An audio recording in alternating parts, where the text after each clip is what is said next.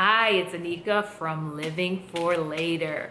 So I was reading this morning um, Matthew chapter 21 to my children, and I like whenever we're um, around this time of fear to just reread, um, you know, the passages on, on, the last few weeks of Jesus's life so that they can really understand why we're celebrating and not get caught up into, oh, it's about the Easter Bunny. And as fun as that is, um, I, I want them to really understand that it's all about the resurrection of Jesus Christ. It's all about what he did for us on the cross. So this morning I went back and I was reading to them in Matthew 21. And before I read, I just prayed and I asked the Lord to, to just reveal something to us that we perhaps had never seen before, right? Because it's so easy when you read familiar passages of scripture to say, okay, I know the facts, I know what this is, but it's amazing to me because there's always something, depending on the season of life that you're in, that, you know, familiar passage of scriptures, when you read them, new things jump out at you. So this morning did not prove to be any different. So as I was reading Matthew 21, um, it talks about how Jesus, you know, sent his disciples um, into the village to go and to get a, a, donkey. And, you know, he gave them specifics in terms of what was going to happen. He said to them in verse 2 Go into the village over there, he said, and you will see a donkey tied there and its colt beside it. Untie them and bring them here. If anyone asks what you are doing, just say, the Lord needs them, and he will immediately send them. This was done to fulfill the prophecy. And this is the prophecy. Tell the people of Israel, look, your king is coming to you. He is humble, riding on a donkey, even on a donkey's colt. And my intentions was really to read um, more of this passage this morning, but I froze and I was just so um, encouraged. And I know people have probably seen this already, but this was my first time where this was so highlighted to me um, in verse 5, how it talks about that what happened at this moment was fulfilling um, the prophecy that was given. So I was curious, right? So I, I did some digging, um, actually more like Googling, and I found out that Zechariah was the one who wrote um, this passage, right? And this this prophecy was given over five centuries um, before Jesus's birth. So that's over 500 years, right? Um, this prophecy was given even before Jesus was born. So as I was reading this, it just jumped out at me because I said it took 500 years, over 500 years, for this prophecy to be fulfilled. But because God spoke it, time didn't hinder the, the, the um, prophecy from coming to pass.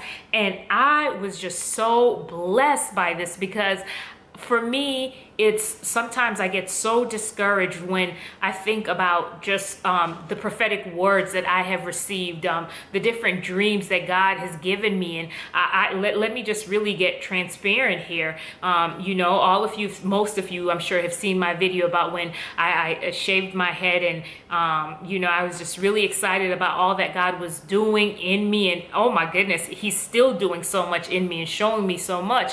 But I'm to be honest, I think that um, because I had received um, different words and different promises of, from the Lord concerning my hair and its restoration, I assumed, okay, God, I've done this thing now. I've finally gotten over the shame. I'm, I'm being bold now, God. I'm showing the world myself.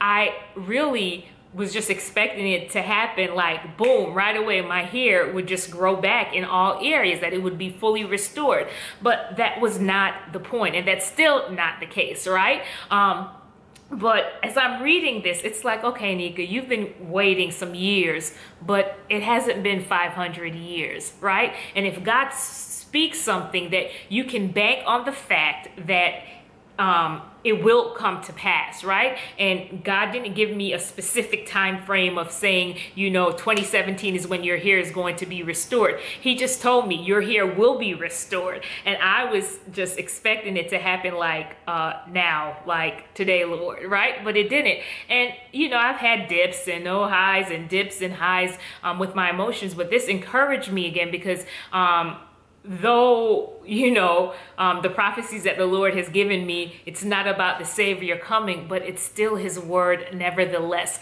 His personal word to me and it's something that's worth holding on to and not to let time um, um, make me um, become suspicious of god or, or begin to accuse god or, or become angry with god and saying you spoke this thing to me. Why isn't it come to pass? But more okay god as i am waiting Teach me how to wait with such confidence, knowing with certainty, number one, that you have spoken it. And if I know with certainty that you've spoken it, that it will come to pass and that I should be patient, right? And that's a whole nother video about just being patient as you're waiting for the promise to manifest. But just like we see here in Matthew 21, that even though Zechariah gave this prophecy over 500 years before Jesus was even born, at this given moment, the prophecy was fulfilled, right? Down down to the T. Um, uh, everything that God had spoken through through Zach, uh, Zechariah came to pass. So for me, I just have to be encouraged and I want to encourage you.